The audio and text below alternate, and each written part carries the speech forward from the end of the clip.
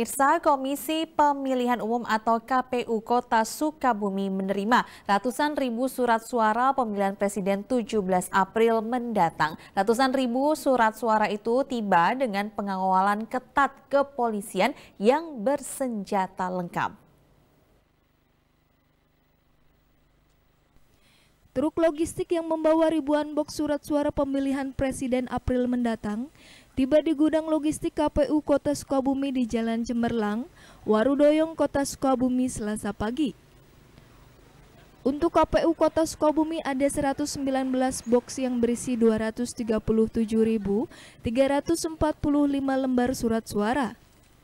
Jumlah tersebut sudah sesuai dengan daftar pemilih tetap yang ditetapkan KPU Kota Sukabumi, termasuk DPT tambahan ditambah 2 persen.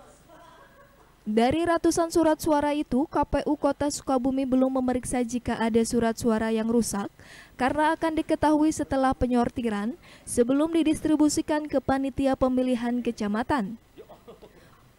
Pengepakan dan penyortiran akan dilakukan dengan melibatkan anggota PPK dan PPS bersama relawan yang berjumlah 25 orang. Kemungkinan mungkin besok ya kita menunggu dulu dengan uh, siapa saja nanti yang akan kita akan buat informasikan kembali. Untuk okay. sortir kapan Bu rencananya? Ya rencananya mungkin besok rencana kalau kalau memang sudah di kita Bu target semua surat suara Bu kapan Bu? Uh, kalau target surat suara, memang kalau dalam uh, agenda dari KPRI paling terakhir itu dari seluruh kabupaten kota di seluruh Indonesia itu tanggal 30 Maret.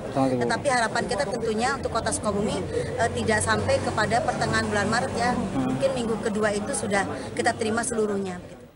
Sementara itu, untuk KPU Kabupaten Sukabumi, ada 932 box yang berisi 1.852.532 lembar surat suara. Penyortiran dan pengepakan akan dilakukan awal Maret dengan melibatkan 750 orang Penyortiran dan pengepakan akan dilakukan awal Maret dengan melibatkan 750 orang relawan selama 15 hari. Budi Setiawan, Bandung TV